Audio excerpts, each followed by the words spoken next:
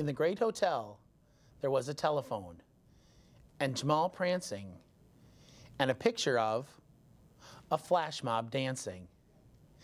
And there were three news anchors sitting on chairs, and two legislative branches intent on regulating cattle ranches, and a system of courts where cases weren't short. And boys and girls at first blush, each developing a crush, and a quiet Orville who is whispering hush. Good night, House of Democracy. Goodbye, autocracy. Good night, Ramsey Senate. Good night, Freedom's tenants. Good night, Leadership Corps. Good night, Press Corps. Good night, National Issues Forum. Good night, Legislative Quorum. Good night, Yig Roundtable Nights. Goodbye, partisan fights. Good night, cabinet members.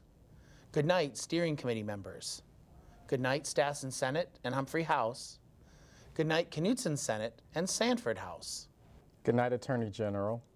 Good night, Secretary of State. Good night, trial courts. Good night, Governor's Cabinet. And a good night to Orville, whispering hush. Good night, advisors and program specialists. Good night, good, good night, delegation directors. Good, night, night Yig 2012.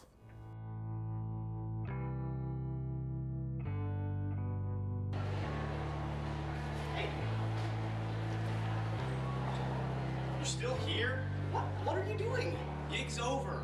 Go home. Go. There's no need, no need for you here. No more.